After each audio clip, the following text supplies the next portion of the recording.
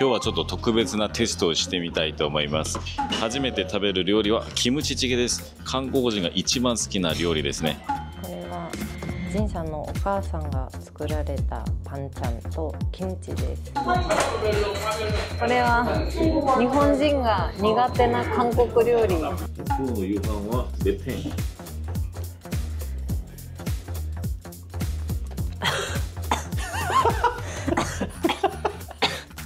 と待って。毎食大丈夫かなとちょっと心配にはなります。皆さんこんにちはジンです私は今韓国に来てます。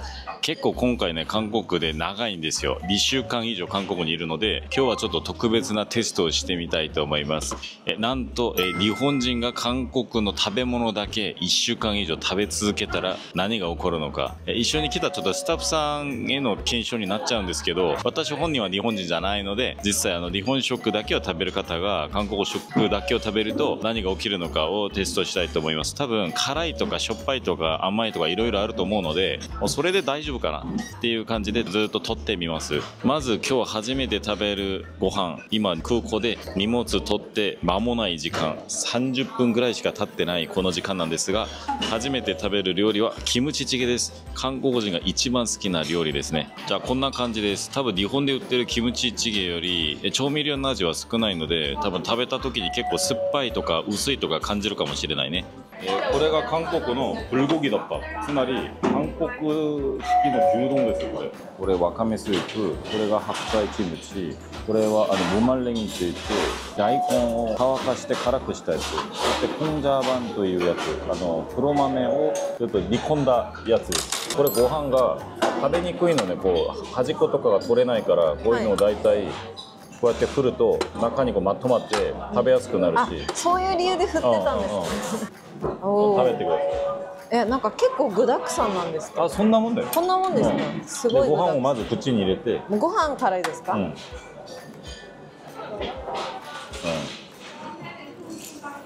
うん。スープ一緒に飲む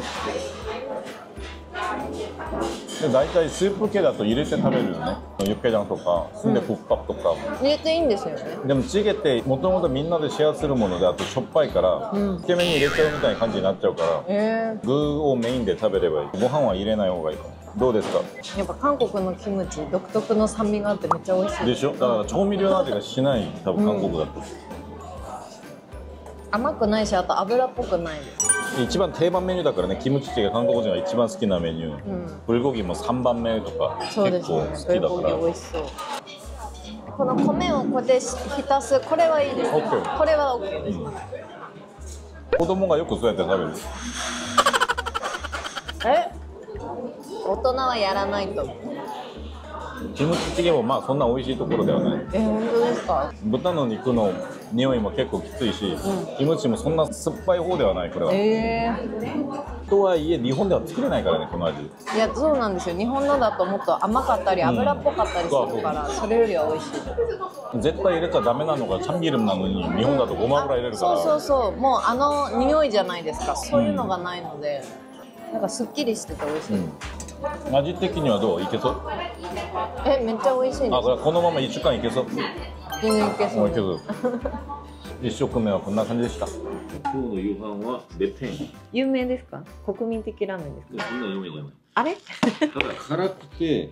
そうです見た目からして辛そうです。でもただ辛いんじゃなくてちょっと深い味の辛さ。なんかそういうなんかポップなブルダックポックミョンとは違くてあ韓国の美味しい辛さだっていうことで食べれると思います。おお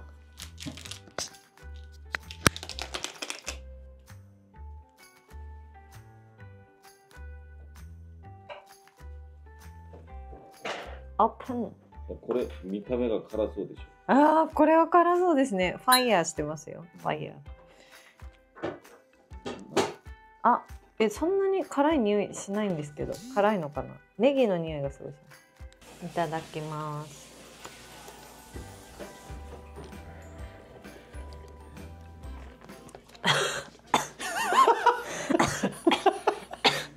ちょっと待って。辛い？えそんなに？え飲み物ください。これ飲んでみてこれ。これは辛い時によく和らげてくれるやつで有名なジュシクルっていうやつです。ジュシクルこれは子供の時にあのトッポッキ食べれない時によく食べてこのまま飲んでみてくだいさい、はい、うん本当だオアシスですね。オアシス。オアシス。いいいい感じでしょ？あめっちゃいい癒されます辛みが。味はどう？何味？桃となんかカルピスみたいなそういう柔あそうそうそう。らかいあそう味がしそうそう。で私が食べるのはソゴギ塾ソゴギで牛肉入ってるやつ。えこれヤンバンっていうブランドで出したやつで美味しいですこれ。ダイエット中なのでこれと家の自家製のキムチ。食べます日本人って結構おかゆはいいかもね。多分好きな人多いよね。そして韓国にもこういうの売ってます。鶏胸ね。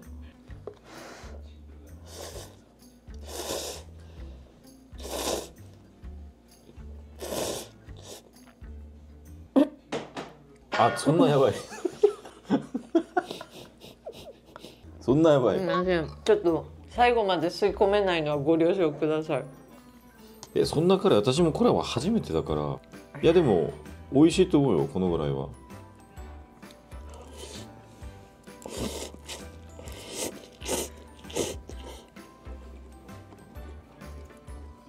うん。確かに辛いけどでもこのぐらいの辛さってプルダックク麺よりは辛くないでしょ？いやちょっとしばらくそのままいいってください食べて、うん。舌がしびれてくるんでいやこれではしびれるとは言わないかもね。言わないですか、ピリピリしてて。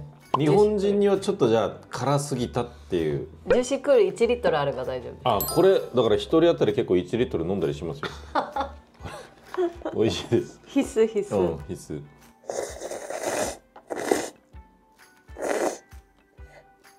うん、でもこれ結構味は美味しいかも。なんか辛いけどずっと食べてたらやみつきになります。うんこれは今韓国で一番人気なお酒です。ケリー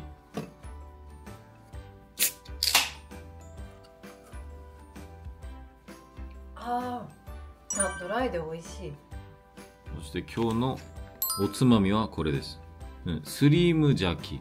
咲いてあるやつでこれもまあ脂質とか炭水化物がもうほぼゼロなのででプロテインだけが入ってる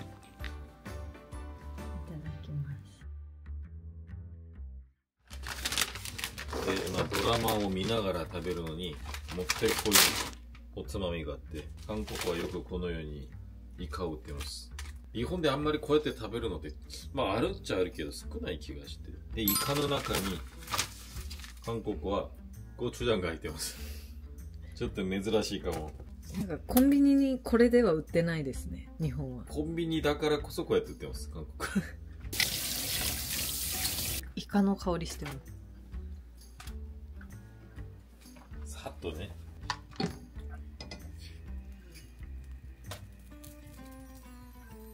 水を少しつけるとあんま焦げないしいい感じで焼けるよ。韓国のクラシックの定番おつまみです。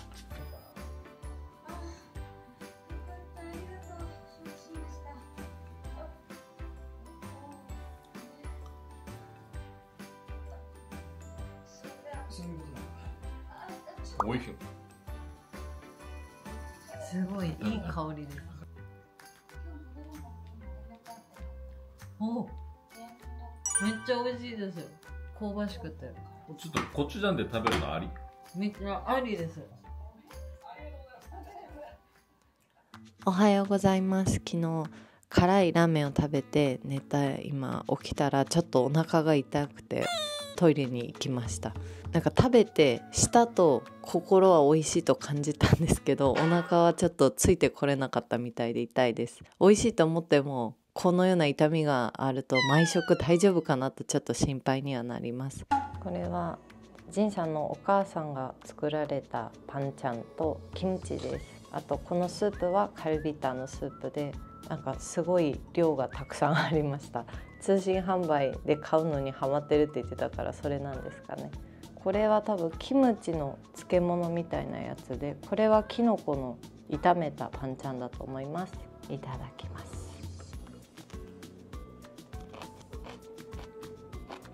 うん。これだ。やはり韓国に来て食べるべきはキムチですね。朝一のキムチが体に染みます。日本のキムチより甘くないってよく言う人がいてそれはもちろんそうなんですけどなんかそれよりすっきりしてる気がします。変ななんかベタベタがなくて本当箸休めの存在というのが分かります。で次がこのきゅうりの漬物なんですけど撮影で仁さんのお家に来るとお母さんがよくこれを出してくれます。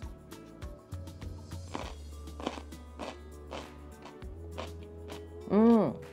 そもそもきゅうり自体が日本と違う気がします。日本のってもうちょっと中が柔らかくてほとんど水分みたいな感じなんですけど、まあ、漬物にしてるせいかそれより水分が抜けて硬くて歯ごたえがよりしっかりしてる感じです。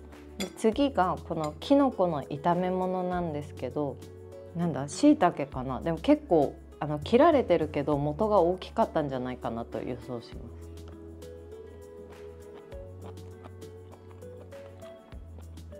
す。うんめっちゃ食べやすくて美味しいです。本当にシンプルな味付け。きのこの旨味が全面的に出てて美味しいです。日本も作り置きのおかずとかってあるけど韓国も本当にこういうパンチャン文化があって料理をしなくてもあらかじめ作っておいたのでこんなに豪華にご飯が食べれるってすごいなと思います。もう毎食朝ごはんからこんな風におかずたくさん食べれたら幸せですね。おこのカルビタンはめっちゃでかいカルビが入ってます。レトルトだけどすごい立派です。うん。だからこれ今キムチを除いて辛いものが一個もないんですけどなんか韓国料理好きですかって人に日本人に言うとなぜか返事として私辛いものが食べれないんですよねって来て不思議に思うんですけど、うん、全然辛くない美味しい韓国料理もたくさんあると思います。2日目だけどそれでもうこういうふうにいっぱい遭遇してるわけなので割合としては少なくないんじゃないかなと思います。お昼ご飯はお家にいるので本当に韓国のお家にあるものを食べたいと思います。これがソーセージなんですけどやっぱり韓国ですねポロロが書いてあります。日本になくて可愛いなと思いました。開けてみます。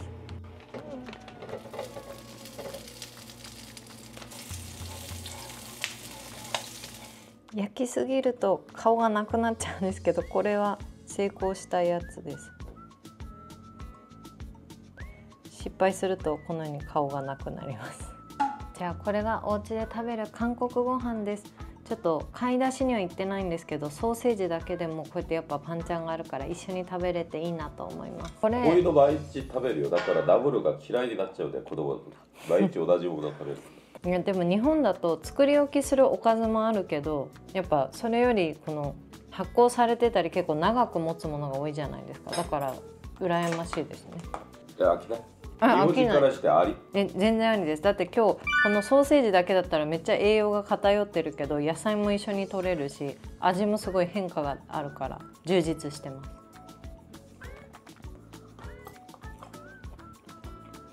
うん。ソーセージ美味しい。子供用だから塩分がない。ああそうかもしれないです。でも皮パリッとしてるしめっちゃ美味しいです。じゃあ2日目の韓国のご飯の夜はおもりカクトゥギソロンタンラーメンです。初めて食べます。カクトゥギのラーメンってどういう味なんでしょう？作ってみます。これは？スープ？なんか具がすごい。カクトゥギがそのまま入ってます。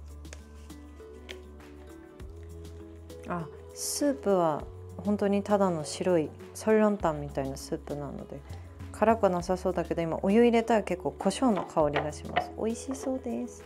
じゃあ3分半経ったので仕上げにこのカクトゥギスープを入れて仕上げたいと思います。おこんな感じで中に入ってます。スープもいっぱい入ってて美味しそうです。いやこのカクトゥギをラーメンに入れて食べるっていう発想がなかったカクトゥギってやっぱ焼肉に行った時に一緒に食べるイメージだったのでこの赤い油もいってるけど辛いんですかね？食べてみたいと思います。1個これぐらいのサイズで入ってます。うん！めっちゃ美味しい。角研ぎが結構柔らかいけどしっかり味が染みててなんか思ったより本格的な味です。レトルトに入ってるけど。ちょっとじゃあラーメン本体を食べてみます。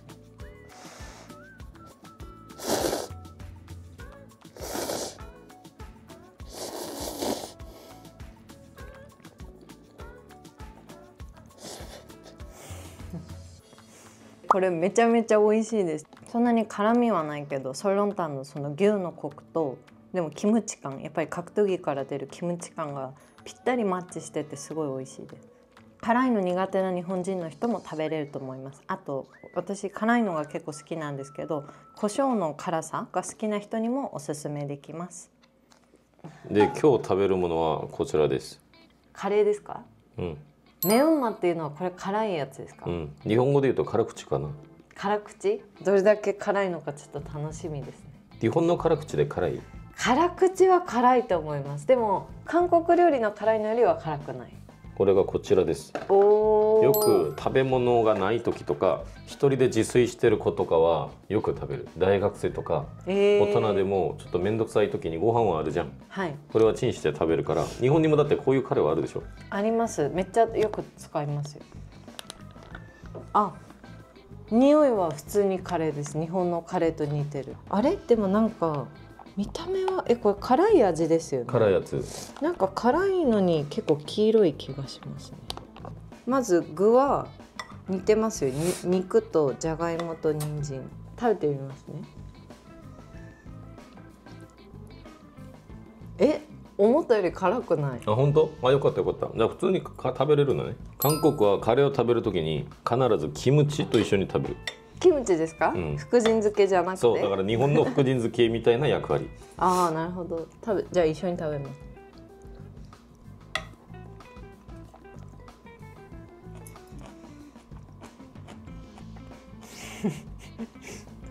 どう？カレーにキムチはなんか違和感がすごい。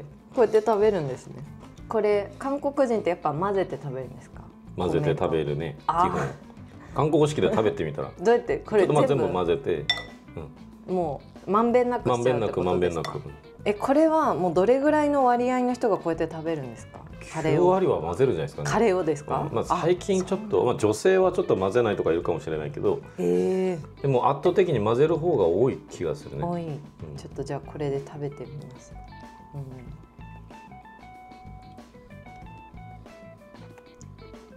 うん、いや全然ありですこれは。これで。しょうん。美味しい。まあとろっとそうそう。さらっとしてるからご飯にこうかけやすいんで。うん美味しい。ねでもカレー全然ありだと思うんですけど。あ本当？なんか韓国の人日本のカレーが美味しいっていう人を何か見たけど、うんうん、全然美味しい。あじゃあお互いにじゃあちょっと違う文化に憧れがあるのかな。あるかもしれないです、うん、저기요판매감변주세 요. ほんで 네.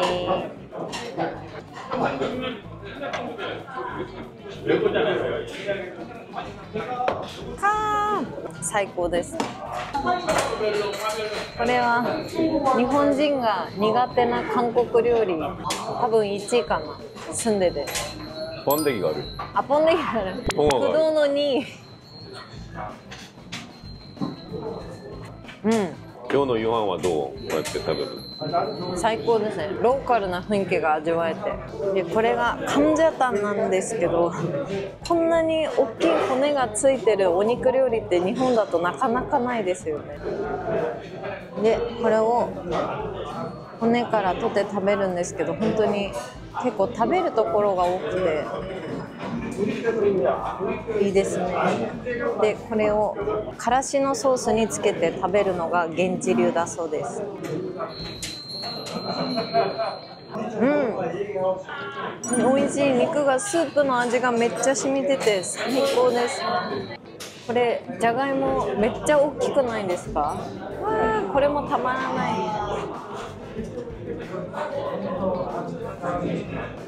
おうん。最高です。カムジャタンはお肉もだけどじゃがいもも最高だと思います。これはお腹壊さない？この間だって朝お腹痛いって言ってたの どうでしょう？でもいつも本番食べてる瞬間美味しくても次の日響いたりするので明日がちょっと楽しみです。でも今そんなにヒリヒリしてもう食べれないとかはないんで大丈夫だと思います4日目韓国での朝ごはんです。今日はこの前買ったこのおでんのバーみたいなのを食べたいと思います。こっちが野菜味イカ味です。これはレンジで温めて食べるのが一般的なようです。4日目の朝ごはん。おでんバー昨日のポロロウインナーの残りヨーグルトです。これはギリシャヨーグルトで日本でも最近増えてるけど韓国にもありました。これはチョコリングとかコーンフレークを入れて食べるビオットっていう人気のヨーグルトです、ねこっちがおじんお味。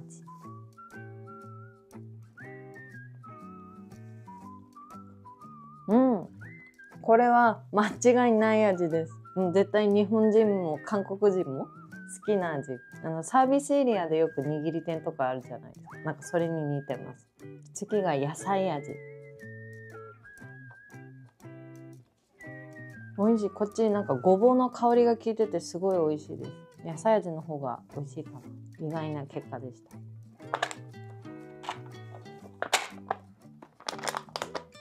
チョコリングがこうやって入ってて一緒に入れて食べます。うん。これはすごい期待を裏切らない美味しさ。ヨーグルトが思ったより酸味があってこの甘いトッピングとバランスがよく作られてます。今のところ1週間の半分ちょっと手前まで来たんですけど韓国料理に飽きたとかそういうのはなくてただご飯が続いてるのでちょっと麺を食べたい気持ちになってきました。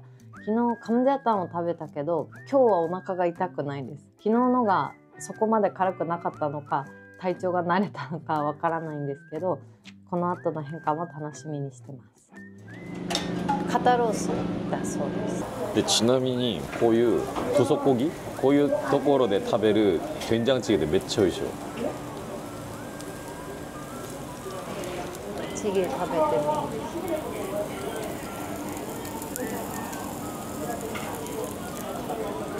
うん お結構辛い。あ辛い？辛い。結構辛いけど確かにでも美味しいです。そんなになんか油っぽくないんですけどすっきりしてて飲みやすい。カルメギ。カルメギ。え今日外寒すぎてデンジャンチゲいいですそう寒い時に食べるのいいでしょ？いいです。この炭も暖かいし、うん、今日いきなり寒くなったんですよ韓国が。で私は徐々に回復をしてます皆さん。ん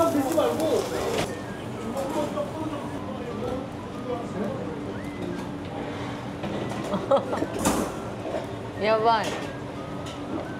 めちゃめちゃ美味しいです。肉の脂がすごい甘くて香ばしいこの炭の香りがしてめっちゃ美味しいです。よかった。生姜焼きこれ本当焼かなくていいよ焼きすぎずあ絶対焼きすぎない方がいい。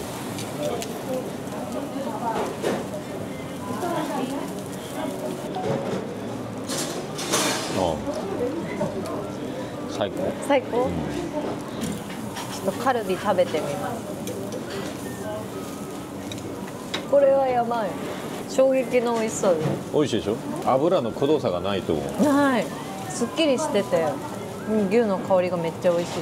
いや逆にこれは本当にこの焼肉は毎日食べたいですね。あの皆さんすみません。私顔がちょっとこうなってるので ちょっと映せなくてごめんなさい。えただ韓国料理ずっと、えー私がねもうローカル的な韓国料理をおすすめしてる中で今日の夜食はこちら。でラーメンの形になっているお菓子なんですよ。えー、このまま食べるんですか？だからちょっとこうパンパンって。ブショブショ。うん。え？いきます。あそうそう。自分が食べたいサイズにすごい粉にする人もいれば私は結構粉タイプだけど人それぞれです。あれ？とこれ入れてあ、うん。味がついてるんじゃなくて振りかけるんですね、うんうん、本当にラーメンのように。本当だ。ラーメンみたいな本当スープの入れました。うん。リアル韓こうやって食べると食べてちゃんと絡まってます。でもちょっと待って大きかったかな。大丈夫ですか、うん。食べてみてください。はい。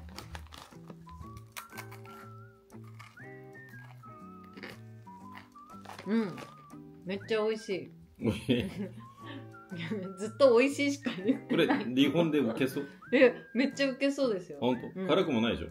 あのヤンニョムチキンなんででこれあのスンデ国日本人があんま好きな人いないって言われるスンデだけど。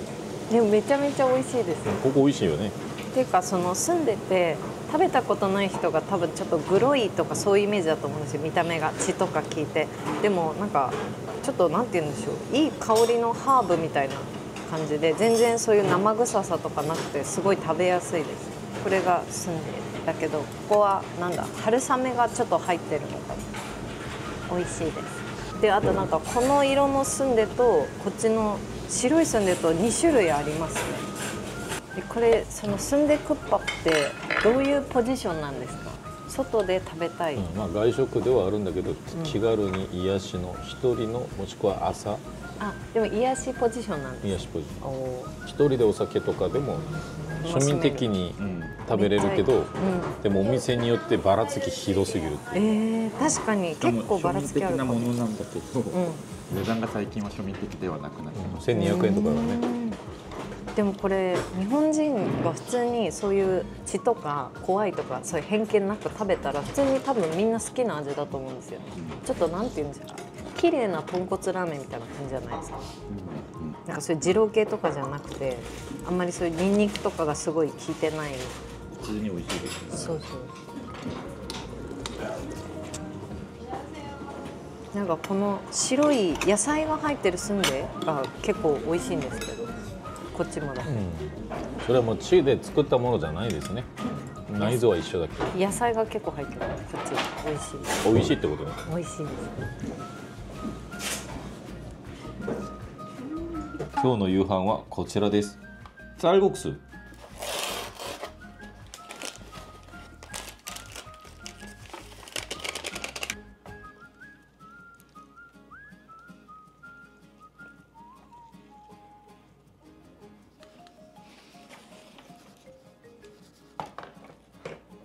これはなんだアルバアルバ卵ご飯卵ご飯 なんか知ってる卵ご飯じゃないんですかうんとびっこご飯です、とびっこご飯、うん、えとびっこご飯をレトルトにするって結構攻めてません？食べてみ。美味しいよ。え？思ってた色じゃない。オレンジなのかと思ったけど。一回洗ったキムチなので酸っぱさよりは甘みとかが入ってる。あそうなんです。よ甘いんだ。うこれあの炒めたキムチってこの色ですよ。ーん。はごま油。香りが最高ですね。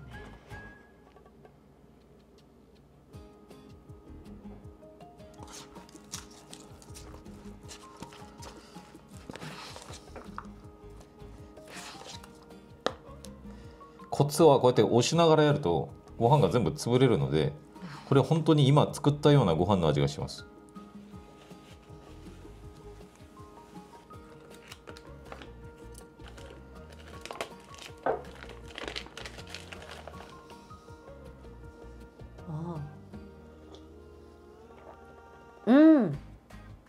だ？フード。え？いやこれはすごいよ新しい味ですね。これは軍隊でよく食べます。本当一週間一回以上食べたのかな、うなんかそうめんみたいなあそうそうそうそう。細さで。米で作った麺ね。なんか具合悪い時でも食べやすそうですよ。辛ラーメンよりもっとあっさりしてて日本人の人が好きそうな味です。美味しい。あればなんか思ったよりなんだご飯と一体化してて混ぜご飯みたいになってます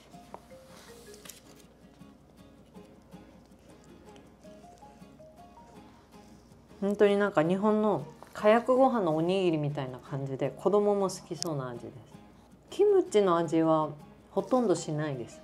お弁当に持ってきたら喜ばれる味。うん。あり？めっちゃありですこれは。食べやすい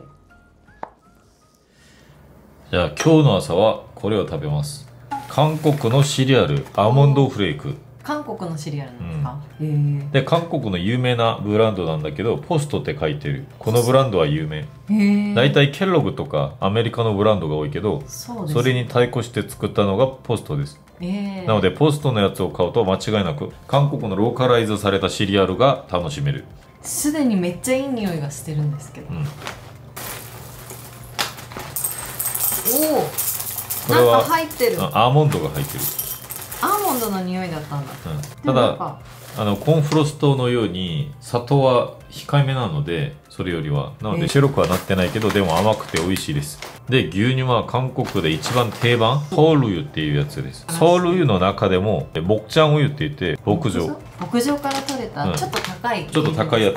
えー、美味しそう。でちなみに韓国は牛乳が高いこれは450円ぐらい、えー、高っ、うん、じゃあ最高のコーンフレークを最高の牛乳。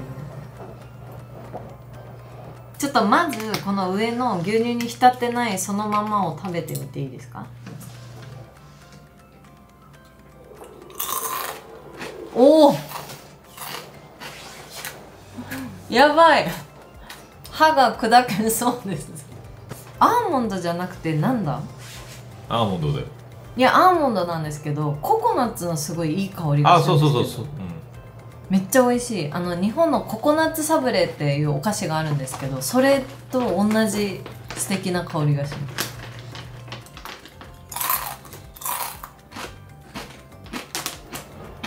うん。いやこれはカリカリの集結版ですね。クリスピー好きな人絶対好きだと思だからこれただの炭水化物だと思うかもしれないけどううん。ナイアシンが1日必要な量の25%も入ってるのね。そんなに？なので結構いいと思うよ。栄養もいいんですね、うん。ちょっと牛乳とじゃあ食べてみますね。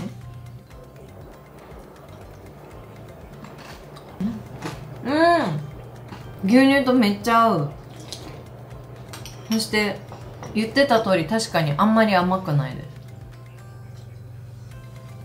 美味しくて。でなんかコーティングされてるのがすごい強いからあんまりふやけないというかふやけるまですごい時間かかりそう。コーティングがすごい上手にされてて多分そのカリカリ好きの人なんか31のキャラメルアーモンドとかそういうの好きな人にはたまんないと思います。めっちゃ美味しい。ここは恐竜キンパっていうところで美味しいです。日本人の方って大体キンパだけ食べるけどたくさん食べたいじゃん。そういう時に何を食べればいいかを迷わずに盛り合わせ食べるといいと思います。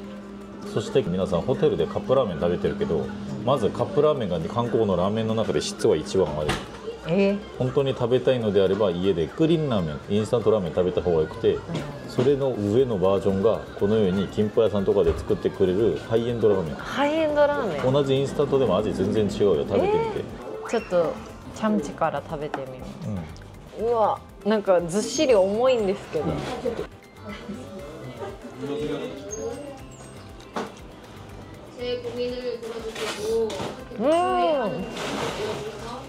いい感じ？最高。皆さんごめんなさい。私も鼻の手術してるからちょっと早くすすったりちょっと美味しくは食べれないので量もいつもよりは控えめにして食べます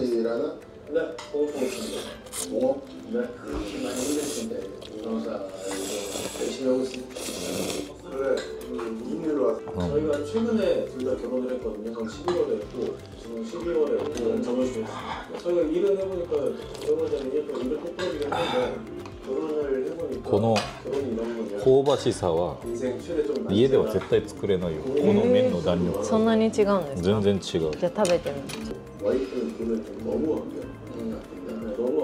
確かに。立体的でしょいい感じでしょう、うん、おーいい匂い。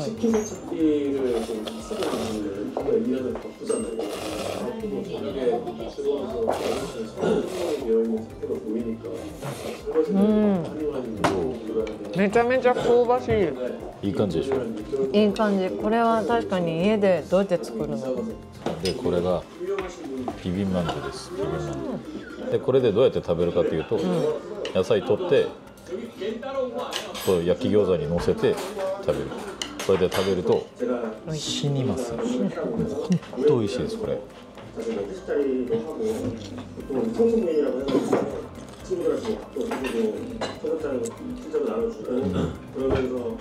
死んだか。死んだ。じゃあこれ食べてみますね、うん、韓国式餃子？餃子。いやこれ本当に一回もそもそも見たこともないで。すこれが餃子なの。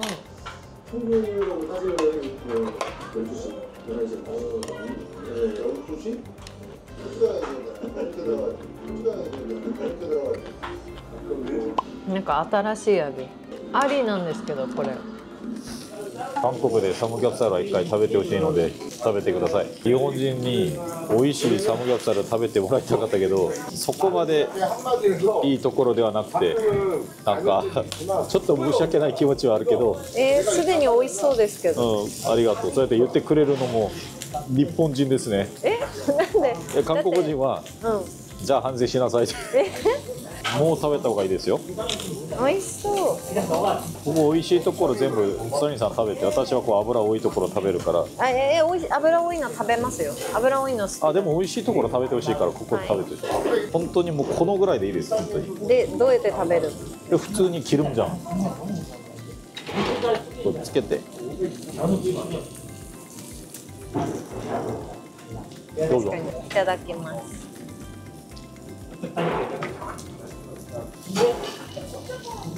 のすごいこの豚肉ジューシーでめっちゃ美味しそうです。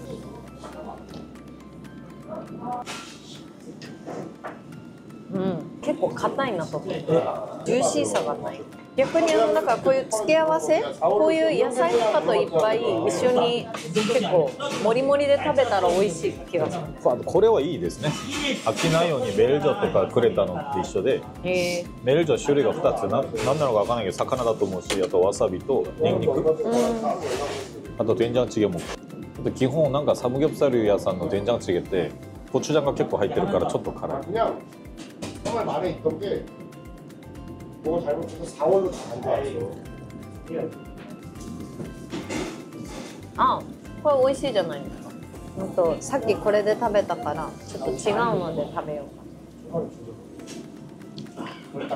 えまた同じじゃん。かじゃあこれ？にこの上にこの上に。わさび。自分が言った言葉を3秒で覆す人は初めて見た。違います違うので食べようって言って同じことやってるのに私は今何を見たんだろう。ちゃんとわさびを乗せて味変です。確かにインターステラで地球の1時間が7年だっただから3秒っていう時間は結構長かったかもそんな天文学的な話してないうん。逆にこれはシンプルに食べるよりやっぱいろいろアレンジした方が美味しい気がする、できれば。だから一番基本はやっぱりこのパジョリー日本だと多分チョレギサラダがチョレギ出てくるサラダ。それは日本はネギが高いからですよ。これが。で韓国は割とネギが安い、へえあだから出てくるんですね。うん、でこれ出してくれるのはありがたい。確かにこれあんまり見ない気がします。それで普通にもうこれだけで食べたりするんです。あのこれだけ食べるときはこうやってあのサムジャンにサムジャンちょっとつけると美味しい。じゃあ韓国式で食べてみて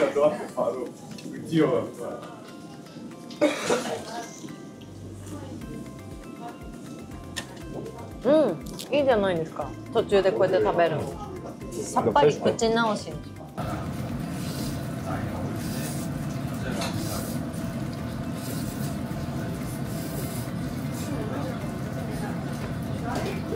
何こうお蕎麦みたいな見た目ですよ。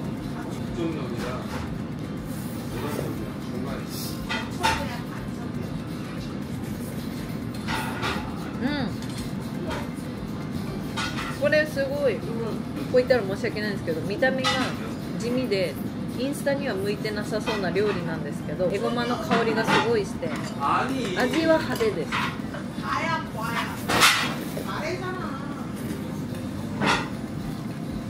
ちなみに普通のマックスと全然味が違います。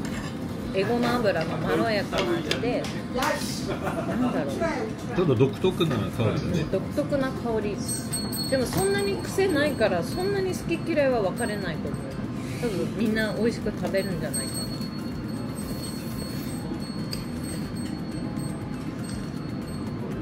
この量で700円ぐらいうん、安くはないけどでもこれ恐ろしいのが無限に入りそうこれ結構3人前とか食べる量怖い。終わりがない麺類。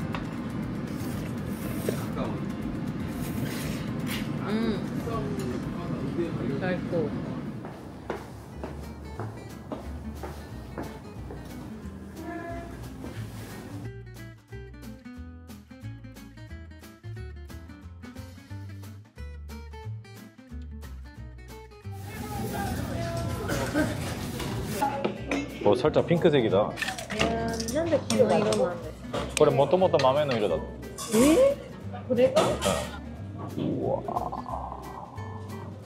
日はテヒョクさんのおすすめでこのお店に連れてきてもらったんですけどこれは一体何でしょうかちょっとしって知ってますかコングクスなんか名前は聞いたことあって 写真は見たことあるんですけどちょっとこういう見た目だとは思わなかった。もう本当豆だけ入ってるそうですね具が麺ないんですけど。でかなり香ばしいんです。で自分が15年前ぐらいに、はいヨイドの KBS っていうテレビ局で働いててああ有名ですよね。あの時にはよく来てたので。あここに、はい。じゃあこの辺で働いてる人が認める美味しいお店。あーめっちゃ楽しみ。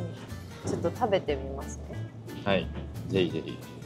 うん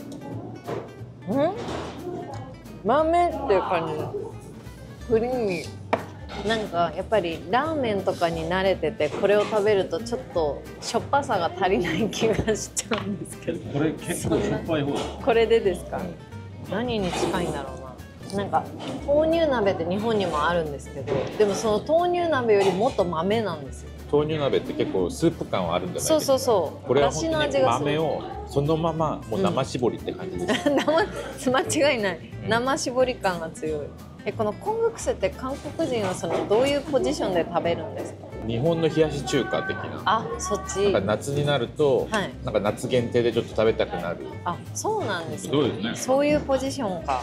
このキムチはツヤ感がすごいんです若干甘めですよね。あなんか加工してあるキムチなんですかうんなんかこれはすごい美味しいは美味しいんですけど、やっぱり食べ慣れてないからすごいあっさりしてるように感じちゃうんですよ、はい。け結構あっさりしてるなと思っちゃうけどキムチを入れて食べたら私の中で完成した感じがあ日本人の私からするだから一緒に入れてきたんです、うん。キムチマした？多分一番トップクラスで甘いキムチ。あー確かにわでもわざとだと甘い。うん。ここに外入れないからうん。ここに入れて。うんうんお腹いっぱい。うまい。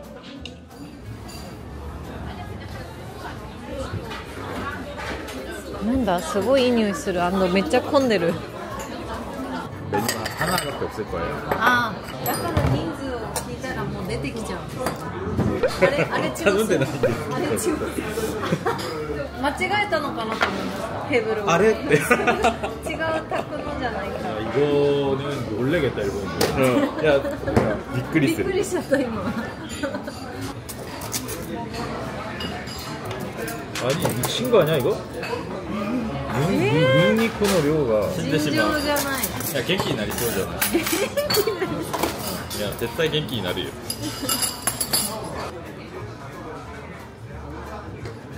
いやなんか見た目は辛そうだけど大丈夫なのかな。こ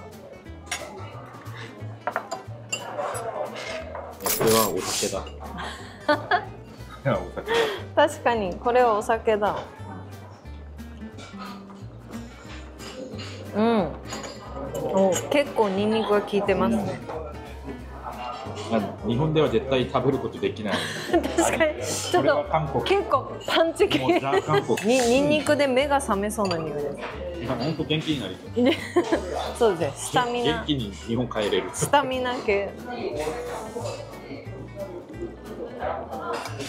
これは韓国人が食べて結構おニンニク強いなとは感じないんですまああんまわざと言うレベルではないですよね、へえあニンニクすげえとかは言わないと思パンチは効いてるパンチは効いてる。パンチは効いてるけど。うまあ美味しいと言うと思う。なるほど。油断した。人生が走馬灯のように蘇りました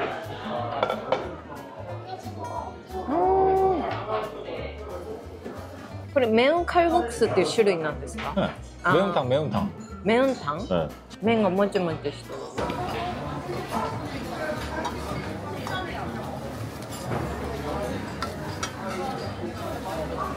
이거는 비주얼 좋다. 맛있겠다. 오, 締めの볶음밥ができたので 食べてみますこれ香りがめっちゃいい香り。エゴマ？エゴマですか？なんだエゴマかすごい香ばしい匂い。海苔とこのセリがいい感じ。フレッシュさもある。そういい感じ、う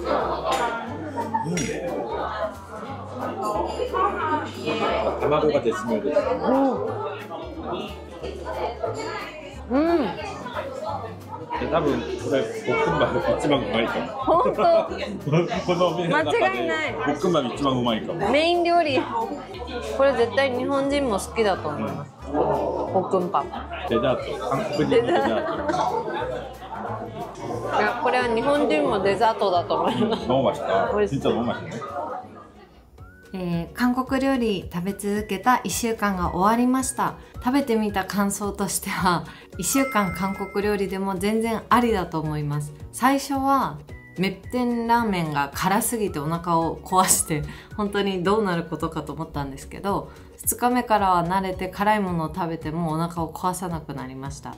でもう韓国料理が美味しすぎてそこから食欲が爆発しちゃったんですけど食べ過ぎ注意だとは思いました。思ったより辛くない韓国料理もたくさんありましたし食べ慣れてない料理だとしても基本的にはまあやっぱり世界の中で見たら日本に近い食材とか味付けも多くてあの醤油とか物は違うんですけどごま油とかその餃子を食べるのが一緒だったりとかうどんラーメンとか。だから基本的には食べやすいと感じました。意外だったのは期待もしてなかったシリアルとかが美味しくて個人的にはびっくりしました。はいということで1週間韓国料理だけで生活したんですが日本人の私でも全然ありだなと思って、えー美味しく1週間過ごしました。この動画が役に立ったらまた日本人の立場として撮影に参加したいと思います。ここでプレゼントの紹介の時間。YouTube の視聴者様から素敵なプレゼントをいただきました。ありがとうございます。美味しく食べたいと思いますプレゼントおよび手紙はこちらの住所へお願いします 감사합니다 昔お父さんがねビール私はもう子供の時にビールは飲めなかったから買ってくる頃いつも2匹買ってきて1匹は自分でつまみで食べて1匹は子供たちの美味しかったなあの時の記憶もあるしよく食べます韓国でああ